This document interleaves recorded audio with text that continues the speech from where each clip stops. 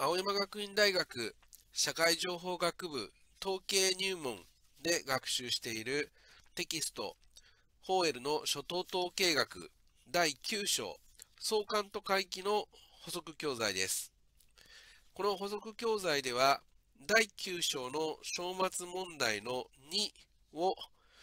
使って R での相関と回帰の分析例を示したいと思います。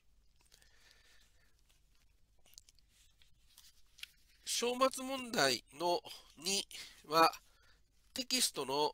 213ページから214ページに印刷されています。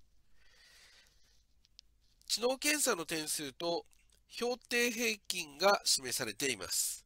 20人のデータですね。テキストの問題文では、まず散布図を描き、相関係数の値を推量した後、その値を計算せよとなっています。我々は統計ソフトウェア R を使って散布図を描き、相関係数を計算してみたいと思います。続けて、この問題には書かれていませんけれども、回帰分析を実行してみたいと思います。それでは分析を行っていきます。データファイルは HQ-2CSV という CSV ファイルにしてあります。授業のウェブサイトから入手できます。入手先のリンクは YouTube の動画の説明部分を見てください。この CSV ファイルでは日本語は使用していません。ですので、ファイルエンコーディングの指定はなくても大丈夫です。読み込んでデータという変数に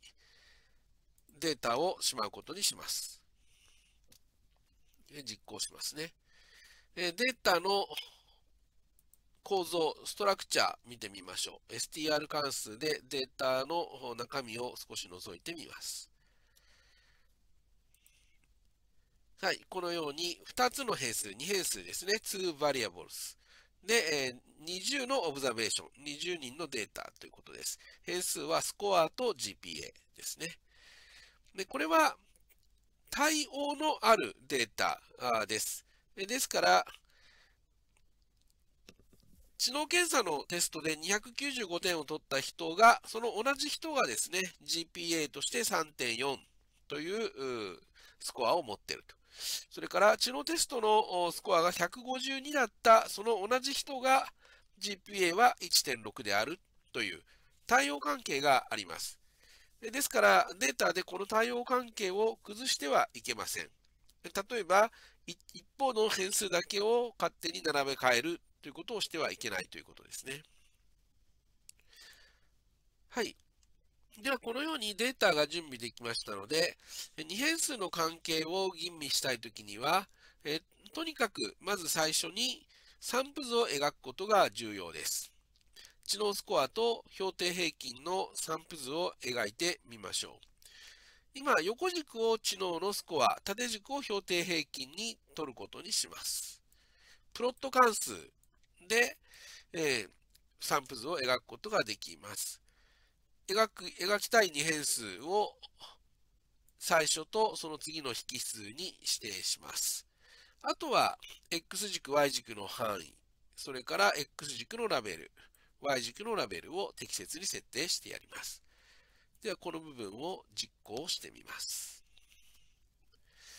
はい、このように散布図を描くことができました。この散布図を観察しますと、大まかに言って、知能検査の点数が高い人は評定平均も高いという右上がりの関係を見て取ることができます。えそしてその右上がりの件関係は、まあ、概ね直線的というように捉えていいかと思います。何かはっきりしたカーブのある形ではなくて、おおむね直線的で、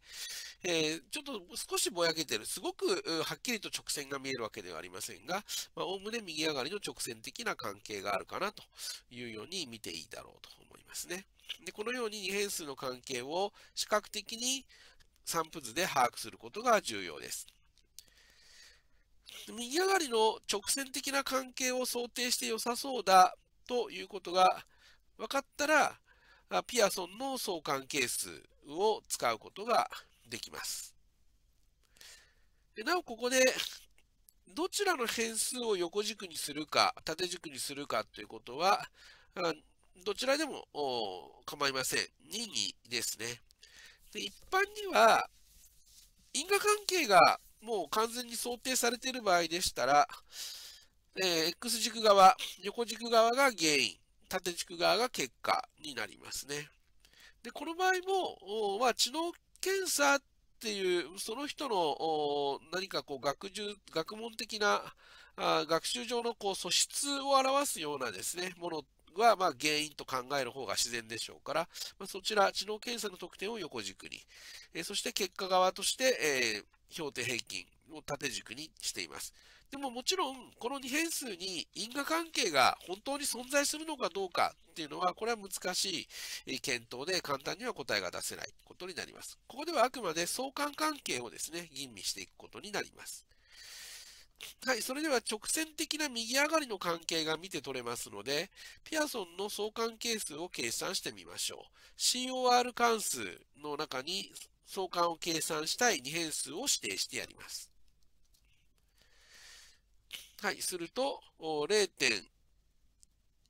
0.48ですかね、えー、というぐらいの相関。で、まあ、ほぼ0.5ですね。えー、というんで、まあ、0.5ぐらいですと、まあ、少しぼやけてはいますが、あ右上がりの関係というのがあ結構簡単に見て取れるんじゃないかなと、それぐらいの関係ですね。わかります。はい。で、この相関係数について優位性検定を実行することができます。この20人というものをですね、母集団からのサンプルであるとみなすことができる場合、母集団での本当の相関係数についてですね、吟味することができます。えっと、それでこの優位性検定の義務仮説は、母集団での本当の真の相関はゼロであるというものですね。でもし母集団の相関はゼロであるという義務仮説が棄却されれば、母集団においても相関はゼロではないということになります。今、0.5近いそう考えられているので、それは母集団でもきっと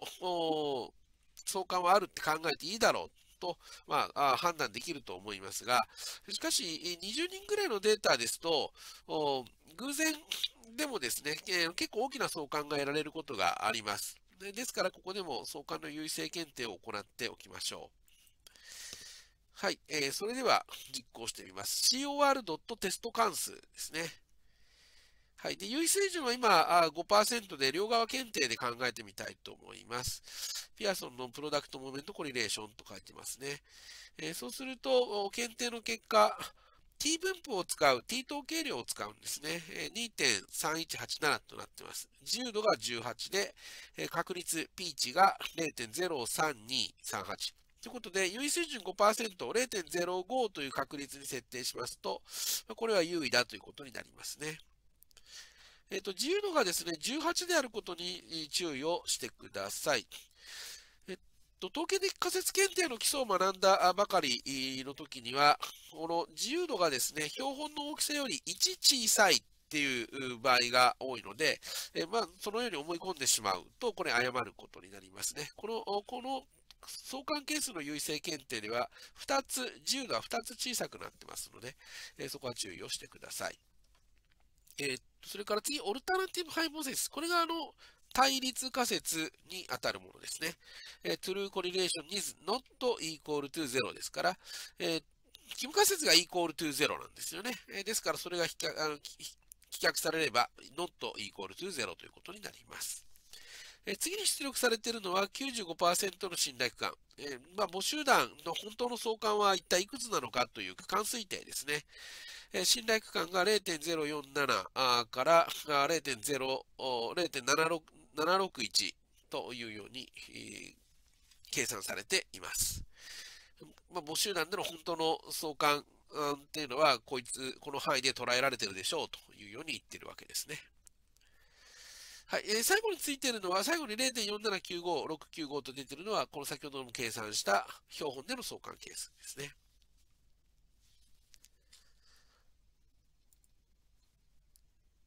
はい、えー、それではですね、えっと、テキストの小圧問題としてはここまでなんですけれども、回帰分析をね、実行してみましょう。まあ、直線的な関係、右上がりの直線の関係が引けそうだなというのが見えてますので、実際直線引いてみましょう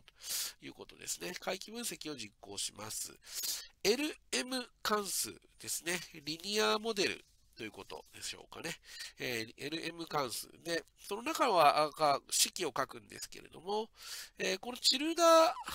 というマークの左と右側に、え、それぞれ変数を指定します。左側がですね、縦軸に、この回帰の前のこの散布図では縦軸に描かれて、縦軸に設定されている変数ですね。で右側が横軸に設定されている変数ですね。因果関係の想定としては、チルダーマークの右側が原因、左側が結果っていうように想定していることになります。ですが、まあ、繰り返しますけれども、この分析ではですね、まだこの2変数に本当に因果関係があるのかということまでは分かりません。あくまで相関関係としての分析になります。で、回帰分析ですけれども、この LM 関数だけで実行できるんですけれど、この LM からの部分ですね、これここだけですと、出力が貧弱なんですよね。え、ですので、もう少し豊かな情報を出力で得るために、サマリー関数の中に、この LM というですね、回帰分析を実行する関数を放り込んでやります。はい、そうしますと、実行しますね。このような出力になります。えー、と今回、えー、この統計入門の範囲で見たいのは、このコエフィシエンツのところに出ているこの結果ですね。えー、インターセプトというのが回帰直線の傾き。で、このデータスコアというように、こう、横軸の変数名が書かれているところが、回帰直線の切片を見ていることになります。この次のすぐ次に出ている値ですね。えー、傾きは0.394998、えー、まあ0.39ですよってことで、0.395ですよってことですかね。あ、えー、切片ですね。切片が0.395ってことになりますね。それから傾きが、傾きが0.009ですかね。傾き0.009ですよという結果が見えています。ということは、直線の式としてはですね、GPA はスコアを0.009倍して、0.395を足してやると GPA になりますよってことですね。スコアを、え、傾きのところですね、0.009倍して、えー、それに0.395を足してやると、で、えー、GPA のスコ GPA になりますという、そういった直線関係ということになりますね。y イコール 0.009x プラス0.395という式になります。はい。で、これで直線の式は引けてるんですけれども、えその後の残りの部分はですね、え統計的な仮説検定をやっています。これ何をやってるかというと、この、やはり20人というものは標本だと考えるとですね、母集団での本当の直線関係というのを想定できるわけですよね。えー、と、まあ、20、大きさ20の標本っていうのはまた取り直せば切片も傾きも変わりますが、まあ、母集団では本当の切片と傾きがある。と考えるわけですね。で、それが、あの、それぞれですね、えー、本当は0であるという帰無仮説を設定してやります。えー、インターセプト、で切片は0なのだと。それからスコア、傾きは0なのだと。いう設定をしてですね、仮説検定を行います。で、切片については、あそれが0かどうなの、0なのかどうなのかってことは、まあ、普通は興味の対象じゃないですね。で興味の対象になるのは、傾きの方でして、えー、これが母集団では0かどうか、あということを検定することになります。えっと、もし母集団では0だった、0だとするとですね、えー、この場合は、こう、スコアは、知能検査のスコアは GPA を予測するのにですね、何にも役立ちま、役に立たないですよっていうことを意味することになります。傾き0ってことは知能指数の、知能、あ知能検査のテストはいくつであっても、それ0倍しちゃうわけですからね。0倍してしまいますので、えーこのスコアという変数の値がいくつであっても、結局、切片だけが残ってですね、いつも同じ予測値になるということになります。えー、とまあ、ですので、えー、確かにこの2変数には関係があるっていうことを言いたいときにはですね、えー、それを検定として、えー、あのはっきり言いたいっていうときには、このスコアのところのこの結果を見ることになります。えそうすると、こう t バリューのところにですね、2.319って値が出てますね。これ先ほど相関の優位性検定でも出てきた t 統計量ですね。これが2.319で、えー、そして、えー、確率が、P 値が0.0324ですよということで、えー、これは優位水準5%だと優位ということになりますね。で、この数値見て、なんか見覚えがあるなと思った方は、あのその通りでして、え、実はこれ先ほど相関係数の優勢検定をやった時と同じなんですよね。えっ、ー、と、T 統計量の値、自由度、そして、えー、P 値と出てますが、これ同じ結果ですね。あのここにはあ自由度書かれてませんけど、回帰分析の結果には、あの T、T 統計量の値と P、確率 P の値、これ同じですよね。えー、これはあの、授業で、えー、回帰直線の仕組みを習った、求め方を習った 人はわかるかと思うんですが、この切片と傾きのこの傾きの中にですね、えー、実は相関係数が隠れてるんですよね。えー、この傾きは相関係数を使って表す、それにちょあのある少し調整をかけた値ですので、えー、と相関がもし0であれば、もし、えー、相関が0であれば、ここの傾きも0になるんですね。えー、ということで、まあ、ここは同じ結果であるということは、直感的には理解できるかと思います。はい。まあ、後の部分、また、あいずれ重回帰分析とか学習するようになったときにですね、また、あの、ここ学習してほしいと思います。今、とりあえず、この出力では、コーエフィシエンツのところに絞って、えー、解説をしました。はい。で、ここでですね、一つ、事実として、この回帰直線の、ここ引いてですね、その回帰直線の性質を一つあの確認しておきたいと思います。まず、あの、この散布図に回帰直線を引きますね。えこれはですね、AB ラインという関数を使って、えその中に先ほどの回帰分析の式を放り込んでやればいいです。えそうすると、このように回帰直線を引くことができます。で、この回帰直線は、えーこの知能検査の点数の平均値と、それから評定平均の平均値の位置を通るんですね。え、それを確かめてみたいと思います。えっ、と、まず横軸ですね。この知能検査の点数の平均値のところで縦線を引いてやりますね。それから、あ次に横線をですね、えー、GPA の平均値の位置で、標準平均の平均の位置で横線を引いてやると、その交わったところをですね、この回帰直線がちゃんと通ってます。それを確認してみますね。えっ、ー、と、線を引くのはやはり AB ライン関数で、えー、V っていうのが縦線、H が横線を意味します。バーティカルとホリゾンタルですね。はい、えっ、と、縦線を引き、横線を引いてやると、はい、確かにこのそれぞれの2変数それぞれのですね、この平均値の位置をぴったり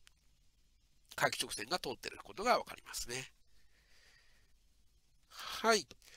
まあ、ここまでで、あの分析としては、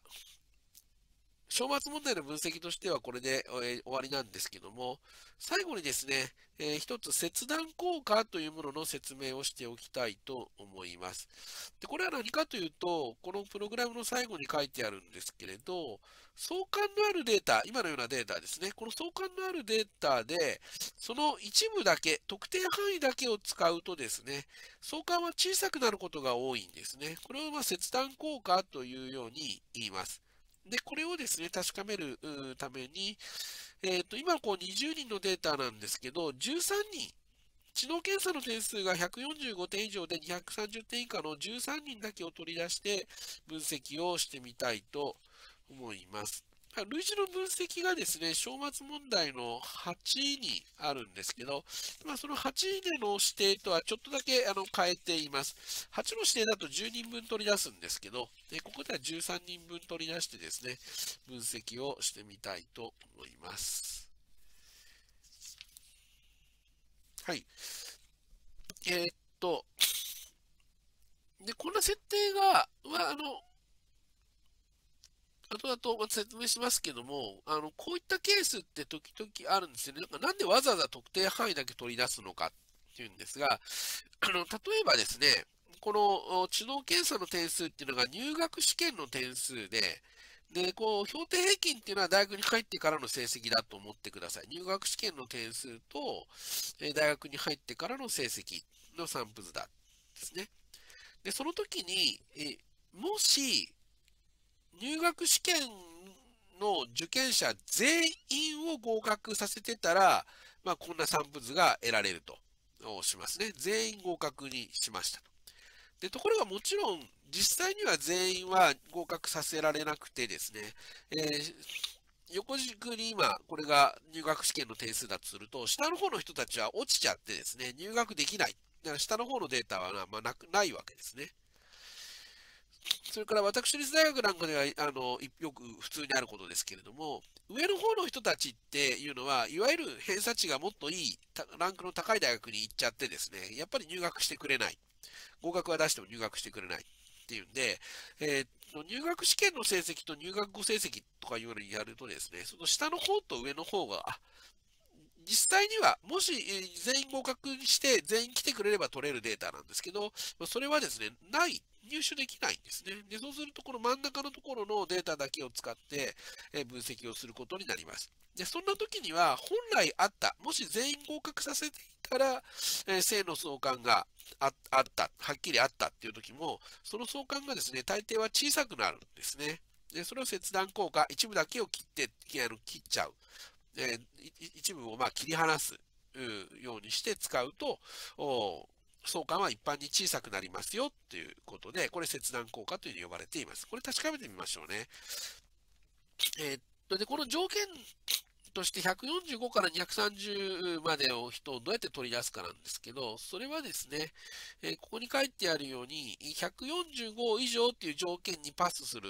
人たちと、かつ230以下っていう条件にパスする人たちをデータの中から抜くんですね。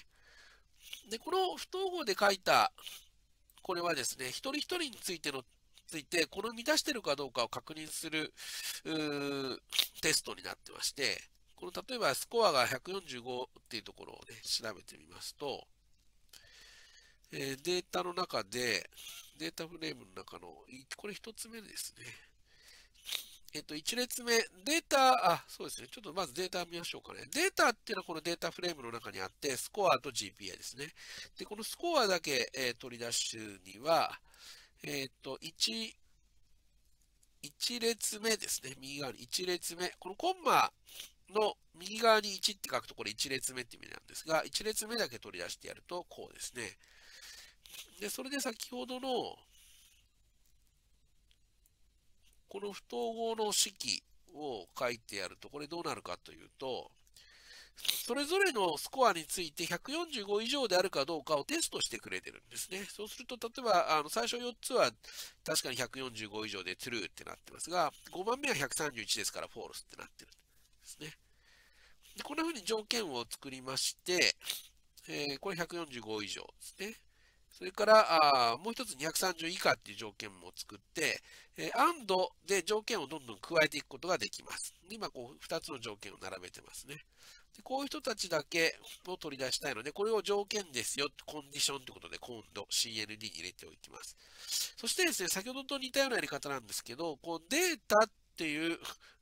このデータの一覧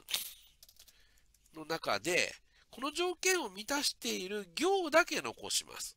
そうじゃない行はカットしちゃいます。っていうんで、えその時にはこのコンマの、先ほどは右側に入れましたけど、左側にこの条件を入れてやると、えこの条件を満たすものだけを取り出して、データの2に入れることができます。やってみますね。え条件を書いて、取り出しますと、はい。えこのようにこれが13人のデータになっています。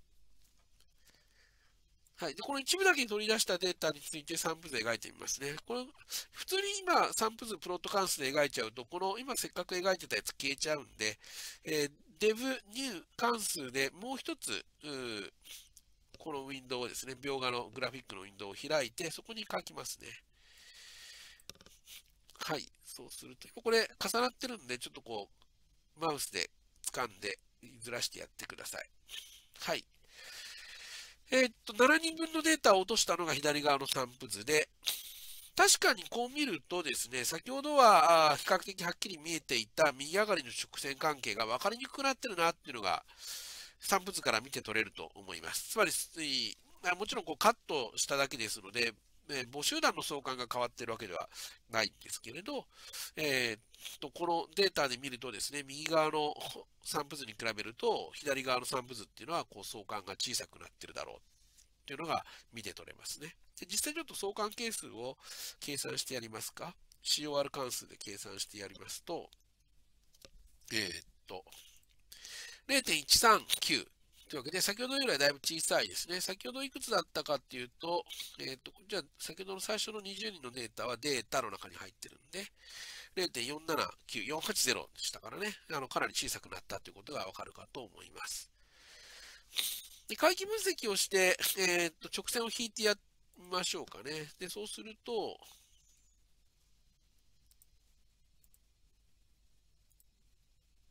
はい、確かに、あの、直線の傾きがこう緩くなってて、つまりまあゼロに近づいてるんですね。直線の傾きがゼロの方に近づいていまして、えっ、ー、と、相関がですね、弱くなってると。ゼロに近い方になったんだということがわかるかと思います。で、こういう、このようにですね、えっ、と、相関が、もともと相関のあるデータの特定範囲だけを使うと、相関は小さくなることが多くてですね、これを切断効果というように呼びます。はい、えっ、ー、と、以上で、えこの補足教材、補助教材を終わりたいと思います。